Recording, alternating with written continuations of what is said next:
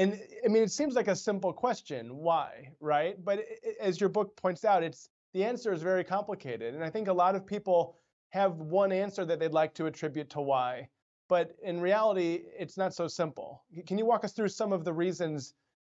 I mean, you open your book with this question: Why is there so much poverty in America? Can you walk us through some of the answers to that question? Sure.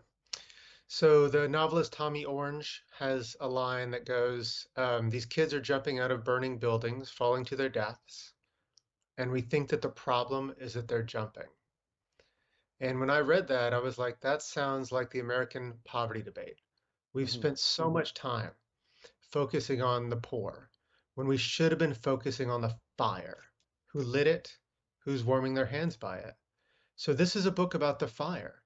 It's a book about how many of us, and by us I mean those who are, are privileged, who have found some economic security in this country, how many of us benefit from poverty in ways that are that are known and unknown to us.